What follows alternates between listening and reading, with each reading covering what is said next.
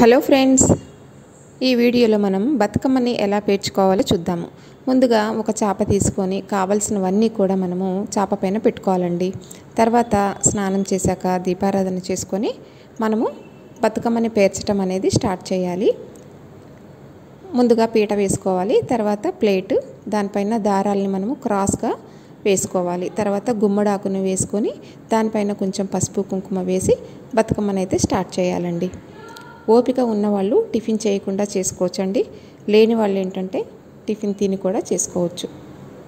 ఇలా మనము లోపల ఫిల్ చేయడానికి తంగేడాకు కానీ లేదంటే సీతాఫలం ఆకు లేదంటే కొంచెం వాడిపోయిన పూలు ఉంటాయి కదా వాటితోటి మనము లోపల ఫిల్ చేసుకోవచ్చు. ఇలా మనము కలర్ కాంబినేషన్స్ చూసుకుంటూ వన్ బై వన్ పేర్చుకుంటూ రావాలి. ఫ్రెండ్స్ ప్రీవియస్ లాస్ట్ ఇయర్ రెండు బతుకమ్మకి సంబంధించినవి ఉన్నాయండి అప్లోడ్ చేసే ఉన్నాయి.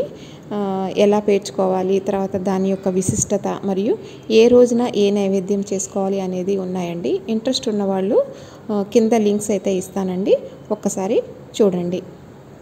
ఇలా మనము వన్ బై వన్ పేర్చుకుంటూ వచ్చిన తర్వాత ముందుగా మనం దారాలు తీసాం కదా ఆ దారాలతోటి ముడి వేసుకోవాలండి.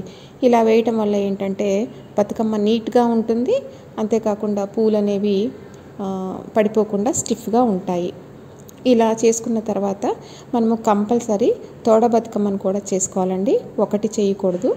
ఇలా కంప్లీట్ అయ్యాక పూజ గదిలో పీటలు వేసి దానిపైన పెట్టేసుకొని ఈవినింగ్ దీపారాధన చేసి ధూపం దీపం నైవేద్యం ఇవన్నీ కూడా సమర్పించిన తర్వాత మనం ఇంటి ముందు కూడా పెట్టుకొని రెండు మూడు పాటలు పాడుకోవాలండి.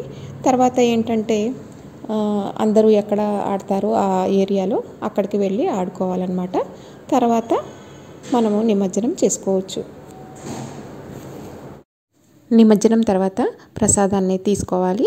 తర్వాత బతుకమ్మ కథ విన్నాక అక్షతల్ని తప్పకుండా వేసుకోవాలి.